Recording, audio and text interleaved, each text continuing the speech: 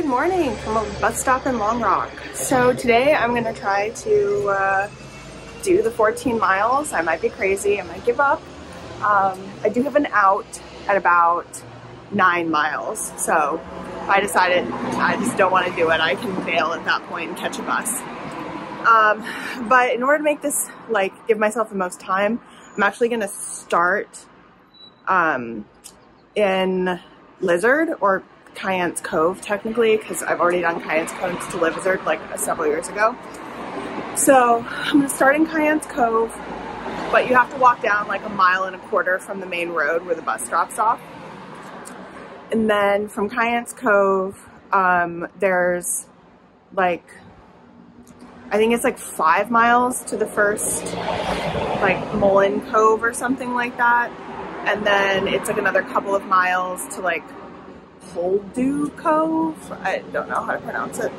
Um, and that would be that would be my Bail-Ad at like nine miles. Um, and then it's another five miles to Porthleven where I was yesterday. So if I make it the whole way, I'll get back to Porthleven. Porthleven has buses that come back at like, you know, seven, eight, nine, 10 o'clock at night. Um, so I have a lot of time, even though I'm not going to get to Kynance Cove until like 10 in the morning, like it's 7 right now, um, I would have like enough time, like I'm not, I'm not trying to catch like a 4 o'clock bus or something. If I started in Kynance Cove, I could get there by like 8, but I would have to like be able to get to the end by 4.30 because that's the last bus back. So this just gives me a lot more time to work with. Um, so yeah, we'll see. We'll see how far I get. This juice box that my hotel gave me has a paper straw and I'm so infuriated by it right now, but I can't drink this any other way. So here we are. I have so many questions. Well, I made it to Helston. Just hopped off the bus and I'm just about to get on another one. And I look at our gutter system. Like, Seems very old school, but clearly effective. So I'm actually really glad to be uh, doing the buses the way I'm doing them because the um, the bus I was supposed to get on supposed to come at 8 8:13 and it's not showing up on the arrivals board like it there's this board there that tells you what buses are coming next and uh, it's the one I was supposed to take. is definitely not on it. Um, there's one 15 minutes later, so it's fine, or 20 minutes, but it's fine. But according to the bus schedule, there's one at 8.13. And according to that board, there isn't. So unless it just shows up randomly in the next three minutes, like there's no bus. Which means that something like this could happen on the way back. And since there's so few buses that go out to this peninsula, um, at, like at the end of the day, like I could have been stuck. So it's better for me to have these bus snafus at the beginning of the day and not at the end. So hopefully this just means that everything from here on out will run smoothly.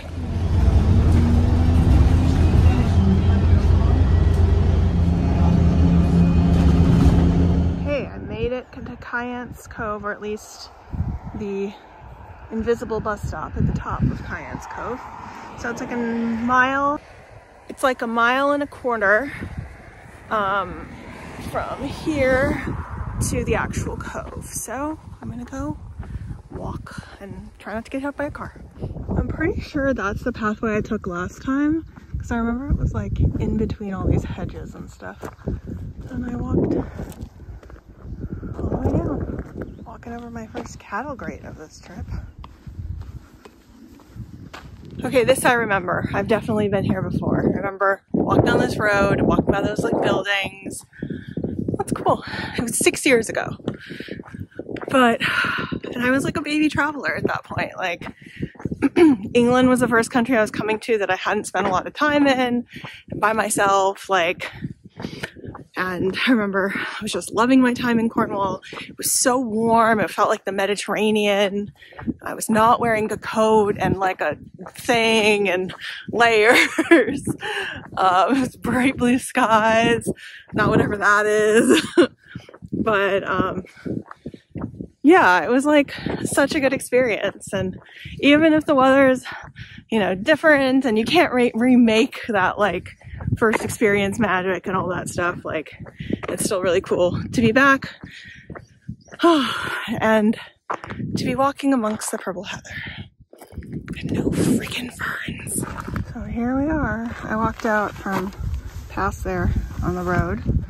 And now I'm here and I'm gonna doot, doot, doot, follow that. The first checkpoint is Mullion Cove, which is four and a quarter miles. Let's go. It's beautiful.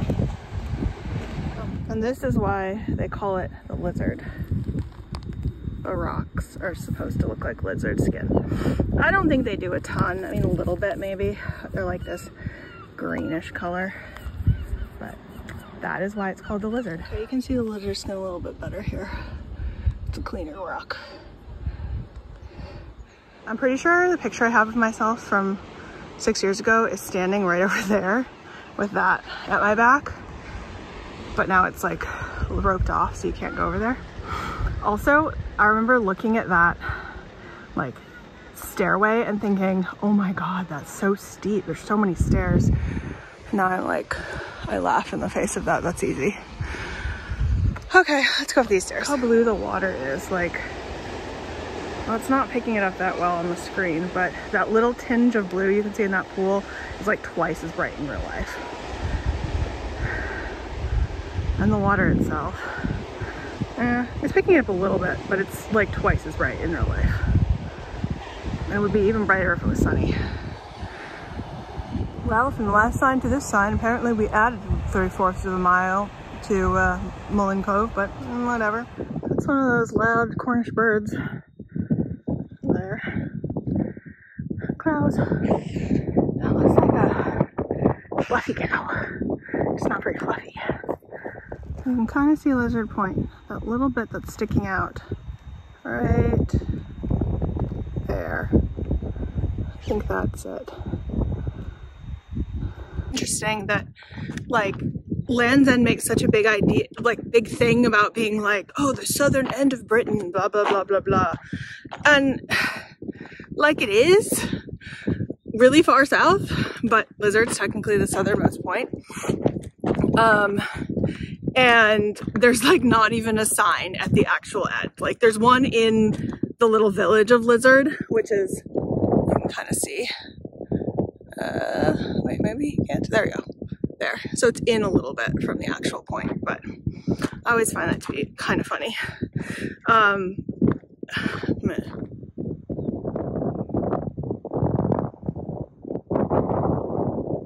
here's some more cows. They're chilling the black ones.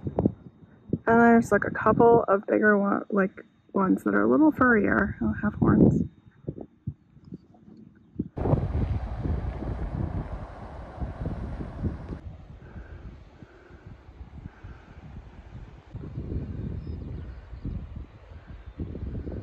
Well, the heathland was lovely while it lasted, but I am, here's bushes and grass lands again.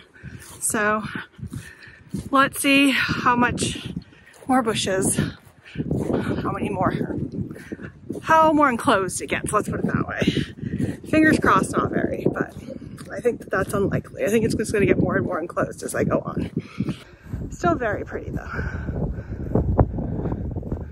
It says I have two more miles to go to Mullion Cove. And a quarter of a mile to what this Agador is.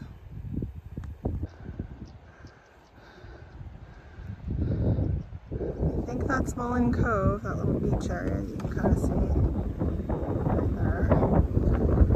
And then that might be Voodoo or whatever it's called. Which I think makes that Porthleven.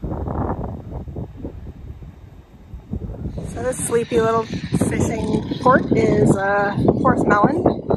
I think is how you say it. It's super cute.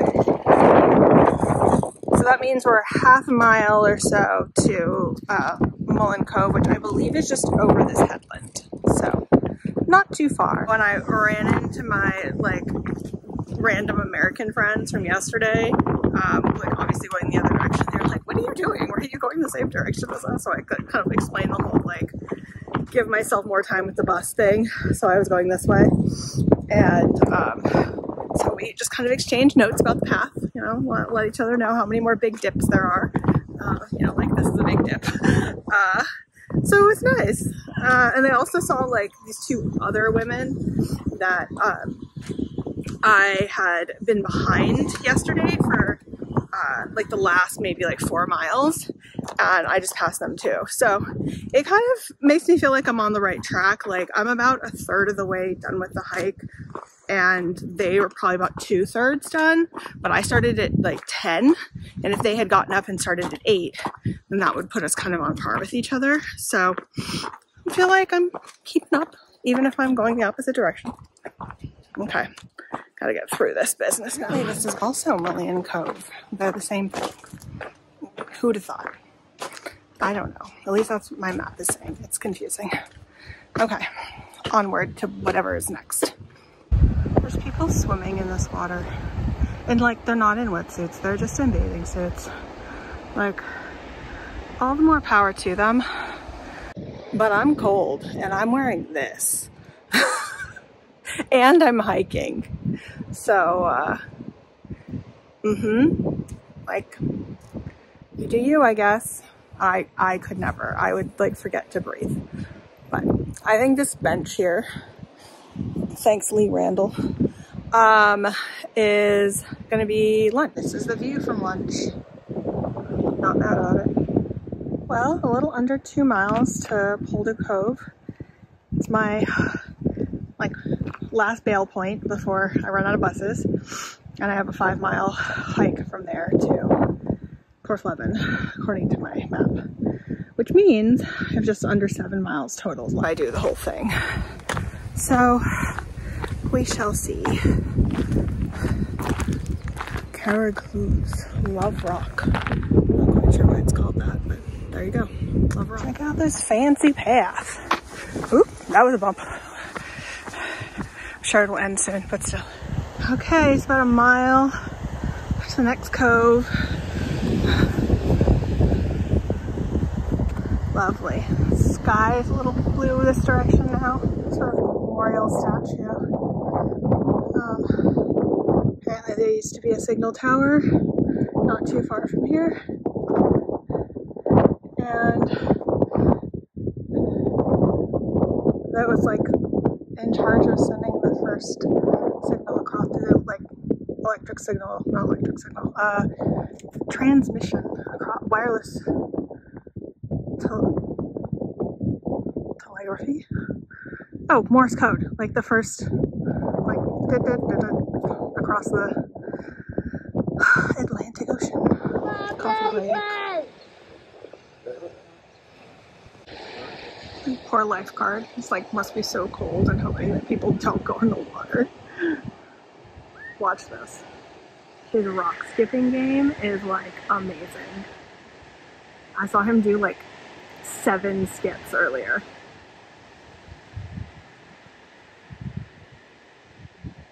Okay, he's not doing it as well, but it was great before. Such a cute little beach.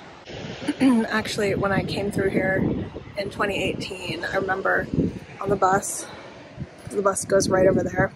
And I remember being like, oh, that's such a cute, pretty cove, and like, if I had more time, I'd come back here. And I've had myself thinking that again, if I had more time, I'd come hang out here, but that's nice. I'm glad I walked through. I think I am gonna attempt, it's like 5.7 miles more. I'm feeling good. It's like 2.15. I just had a coffee. So, you know, even if it takes me until like six, I still have plenty of buses and there's like food and stuff in Porthleven. So I can just grab food there. Like I don't have to worry about being back at a certain time. So I think I'm gonna push through. Okay, so here's where we are. There, I just have my coffee. And I'm gonna do that. So I think this is implying that from here, it's four miles. So I think my five points, oh sorry, it was cut off. From here, it's four miles. So my 5.7 seems to make sense. Cool. Oh, it says that Porthleven is three and a half miles. I mean, if that's true, I'll take it. That would be perfect. We'll find out. Well, I'm almost positive that's Porthleven. So this this bit over here to walk. Not terrible. Not terrible at all.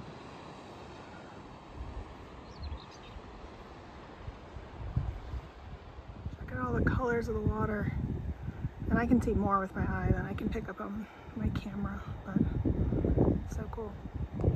Getting closer, two and a quarter miles. This direction. Well, I've made it to Lou Bar or Low Bar. I don't know. It's like L-O-O-E. I don't know how to pronounce it. Apparently it's a giant sandbar that separates that body of water from the sea. I don't know if it ever floods over, but I suspect it might. Probably not often though. Here we go, Porthleven, one mile. Okay, these gaiters are really helping me with the sand issue, but man, I hate squishy sand. Like also like kind of pebbly too. Interesting, it's not little sand, but so annoying. So hard to walk in. That was easily my least favorite part of today's walk, but it is pretty says that there's no bathing at that sign, meaning like don't go swimming. Apparently there's like strong undercurrents and a deep shelf that drops off and all these different things that could kill you in the water, so don't do it. Thankfully, people seem to be listening, so that's good. Okay, a little less than a mile, let's go. There it is, Porthleven, back again. And that means that everything you can see is land that direction and more than land that direction because you can't see the final bit of the peninsula. I've hiked, except for this teeny little stretch between here and that village. Also, much, much more in that direction than you can see. Like a hundred miles more. It's kind of wild. Okay, I've officially made it to town. There's one of the piers. I think I'm gonna dip down there and put my feet in the water. So much squishy so good. Dog has adopted me. He's just like parked himself right next to me. Hi, what's up? How you gotta treat yourself? Okay, I had a nice early dinner, and a drink. Um, and I think I'm just in time for the six o'clock bus. It's like 5.54. So let's see. That'll be perfect. I can go back and settle in for the night. so I was right, the bus is gonna come in just a few minutes, but I was thinking, today was a really good day. Like I did a little more mileage than yesterday, uh, like a hundred feet less of elevation. So it's like, it's kind of a wash, but I'm just like so much more chill, so much more relaxed. I think it was just like the type of hiking. Like it was just open and not like smothered with plants and stuff. So that was a good day. It almost feels like the last day of a vacation because I'm leaving Cornwall tomorrow and I love Cornwall, but hopefully North Devon will be just as pleasant and all the other places I'm going on this trip in the next three weeks will be lovely as well. But say goodbye to Cornwall for the for the year.